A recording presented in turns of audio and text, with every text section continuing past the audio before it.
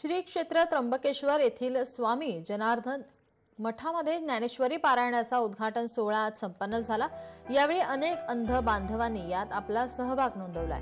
Braille लिपीचा वापर करत नेत्रहीनांसाठी अत्यंत साध्या सोप्या पद्धतीनं या पारायण कार्यक्रमाची सुरुवात करण्यात आली.